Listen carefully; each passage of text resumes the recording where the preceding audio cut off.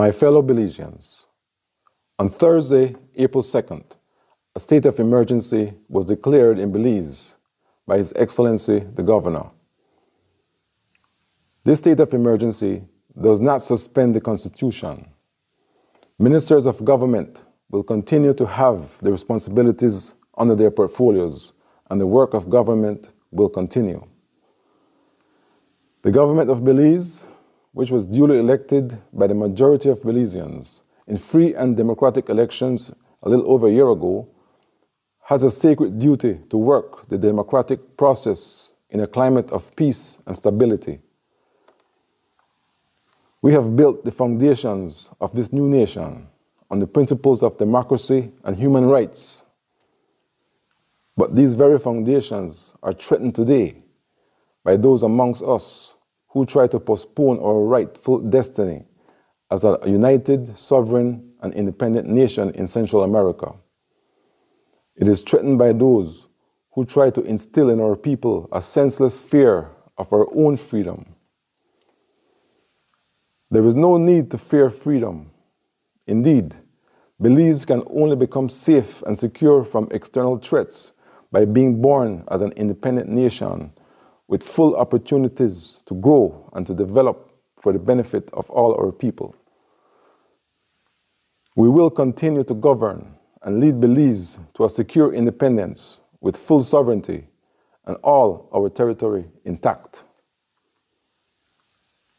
This morning, a delegation headed by the Deputy Premier left for London to attend the Constitution Conference. The opposition party was invited to attend this conference, which is scheduled to open at Marlborough House on Monday, April the 6th. On the issue of the heads of agreement, I continue to appeal to all Belizeans to let reason and good sense prevail the heads of agreement are a list of 16 subjects for future negotiations. They are in no sense a final agreement. In the negotiations ahead, we are committed to maintaining the full sovereignty and territorial integrity of Belize and to protecting all the rights and interests of the Belizean people. Indeed, the first paragraph in the Heads of Agreement provides that the governments of the United Kingdom and Guatemala recognize and respect the sovereignty and territorial integrity of Belize in accordance with our existing and traditional frontiers. This is the essential basis for the future negotiations.